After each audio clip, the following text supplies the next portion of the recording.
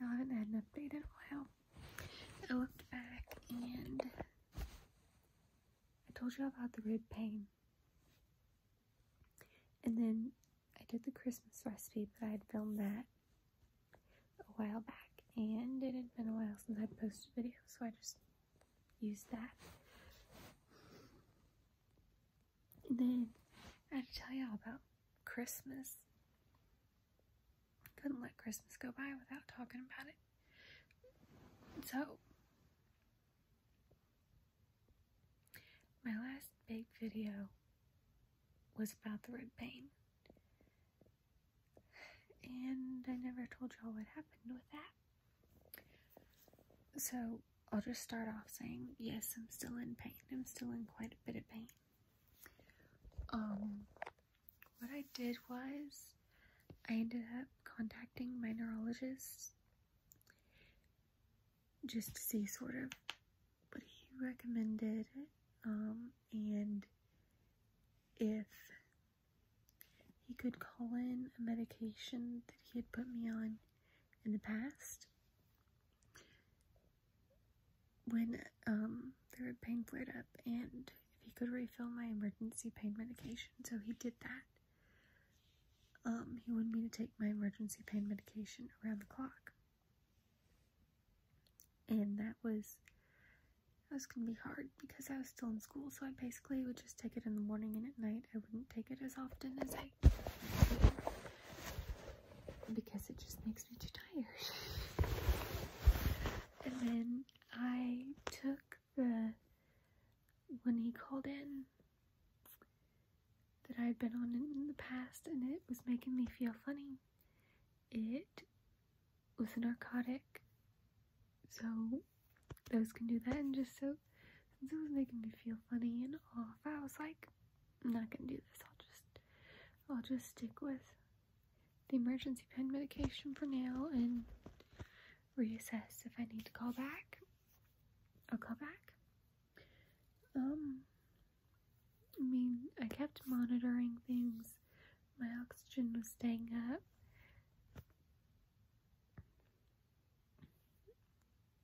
Um,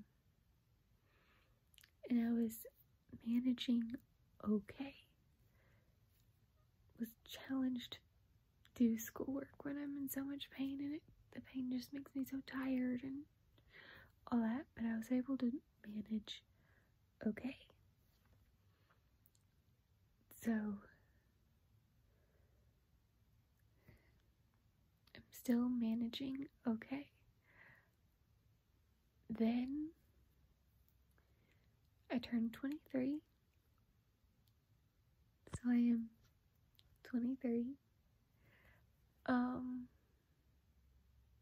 that was good. I actually for the first time went to work on my birthday and I felt so loved by all the students. They all made me a card. And even some students that aren't mine made me cards too. Which was really sweet. So I felt so loved and appreciated and melted my heart a little bit. And then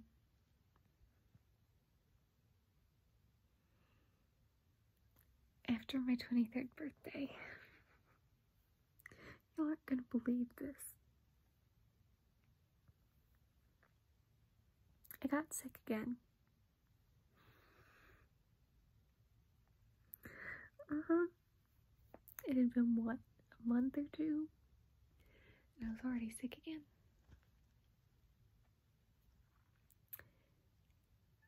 Likely bronchitis. I went to the doctor. Not my doctor. My doctor wasn't in when I wanted to go because I get to a point where I try my best to wait to go to the doctor, you know. Then I get to the point where I'm miserable and I'm coughing so hard and I mean, this time I like wasn't eating hardly anything. Like I didn't want to eat. I felt more sick this time than I did the time before.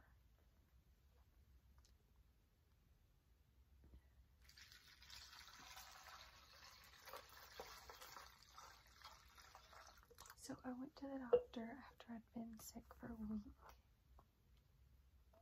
Um, and I told them I'd done COVID home test. It was negative, but I was willing to be tested again for that, for flu, for strep, all the things. But since it had already been a week, they said we'll just let the doctor come in and see what he says.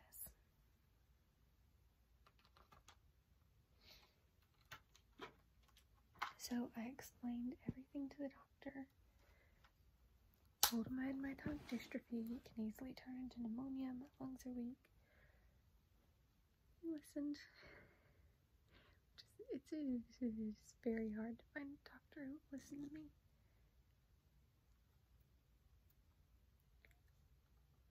But this one listened.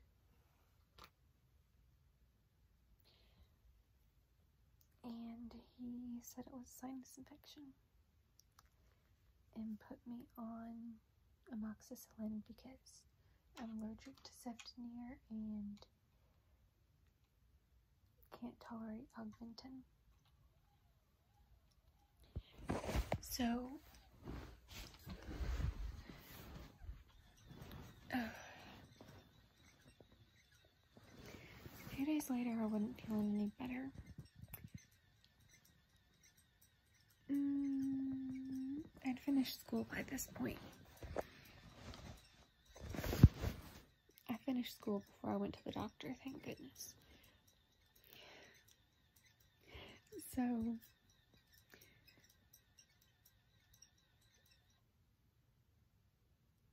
a couple days later, I started feeling really cold. Like, I was shivering and I could not figure out what was going on. I'd taken my temperature, it was fine. Then I came back to my room. Um, maybe an hour later, I took my temperature. I had a fever. And this fever kept climbing. And I kept texting my mom, it's this temperature now. It's this temperature now. It's this temperature now. And once it got to about 103, that's when I start worrying. Because I don't get fevers like ever. I get bronchitis. Like I had it back. I didn't have fever with that. It's like normally when I get sick, I, I just don't have a fever. It's rare that I have a fever. I don't remember the last time I had a fever. So once I got to 103, I'm a little freaked out. My mom says I'm fine. I start Googling when you should go to the hospital with a temperature. And it said 103 is when you should go to the, the hospital. So I am very freaked out. Took a picture of what I was reading and sent it to my mom. She said I could call and try and make an appointment with my doctor. Thankfully, I got one. After that point, my temperature got to 104.6. Remember, I'm in rib pain, so it is very hard to cough because 104.6. I am even more freaked out, but I know I'm going to the doctor, so I should be fine.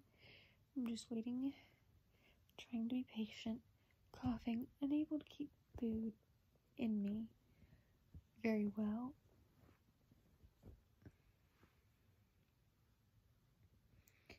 And because I was coughing so hard, mm-hmm. it was like I've been on antibiotics for a few days. I think I should be able to tell a difference now. So I go to the doctor, she tests me. She was very surprised. The doctor I saw did not test me. She tests me for COVID and flu, not strep. Because since I was already on antibiotics, if I had strep, it'd take care of it. Um, so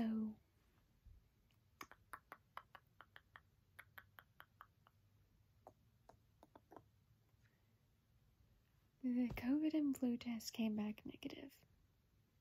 but she was still still suspicious that I might have the flu. So first she checked my white blood cell count. It wasn't great, but it was okay. So that wasn't concerning. So she asked me to come back the next day to redo the COVID flu test. And if that was negative, we'd check my white blood cell count and we might do a chest x ray. So,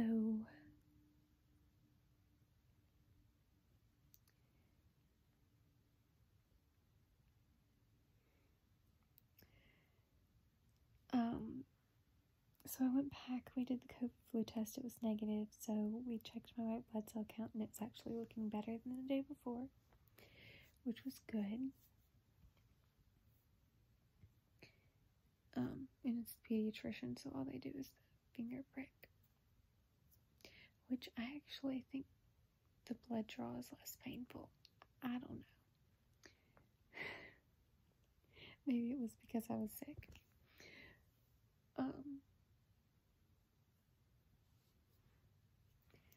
So we did the chest x ray since COVID and flu was negative, and we did a sinus x ray. I had to go all the way to the hospital to get that done. Um, but I didn't have to go like to Le Bonheur or downtown. I was able to go to the adult hospital real close by, not too far. And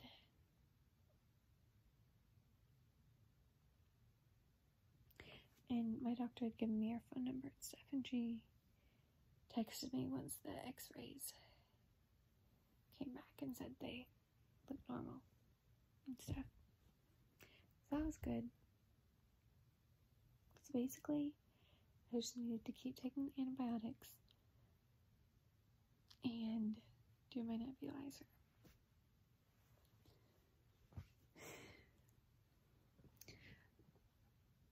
So over that over that weekend I did start to turn a little bit of a corner. So I was able to go to work the next week. Um, at the very end of the week. I was finally feeling well enough at the end of the week to go.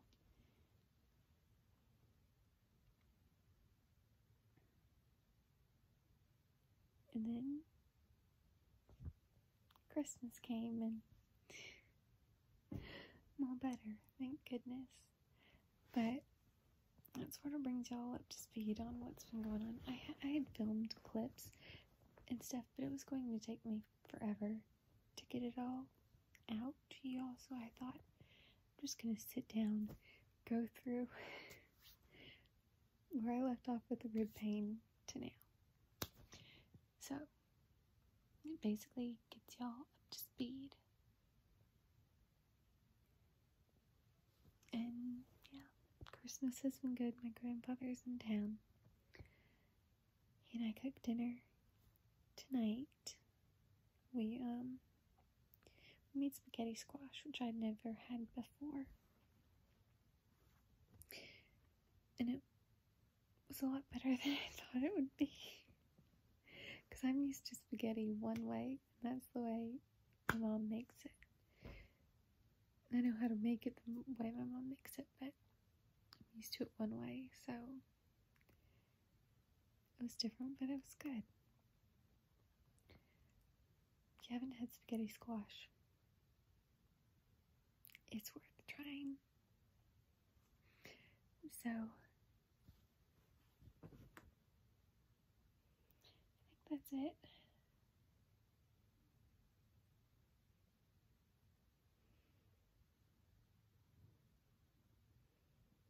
Christmas Day, we went over to my aunt's house and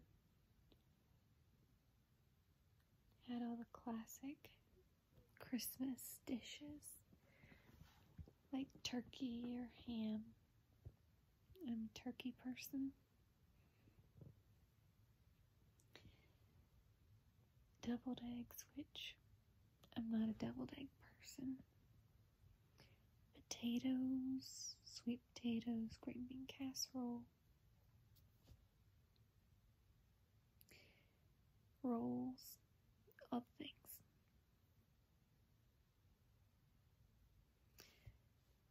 And yeah.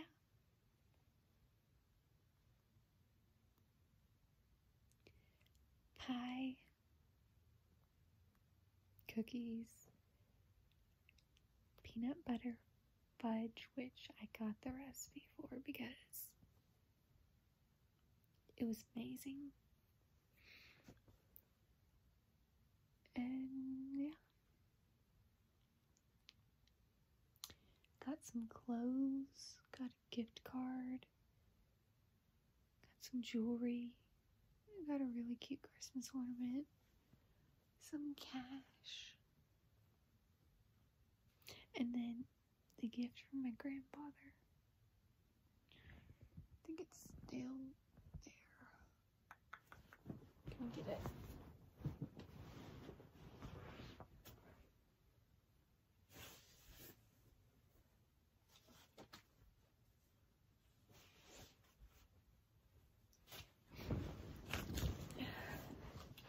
See, normally my grandfather does a gift card or cash or check or something. And I mentioned to him back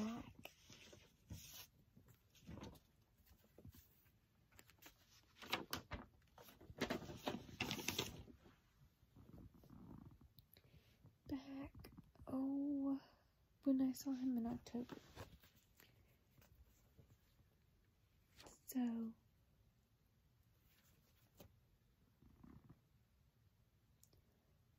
I had asked him if he could do something he'd done in the past, which was like a give back gift almost.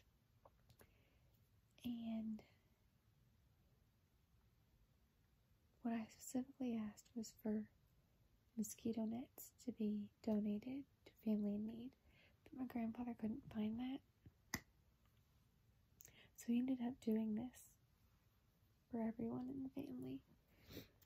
It says a Christmas gift was given in your honor. And so, in my honor, a food package for a month was given to a family in need through Operation Mobilization. So, these are like my favorite gifts because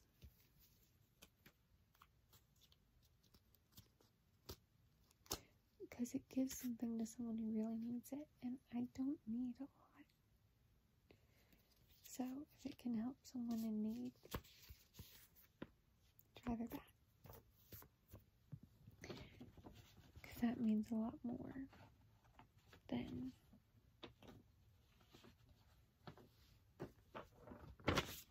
than a check for cash or you misspelled my name.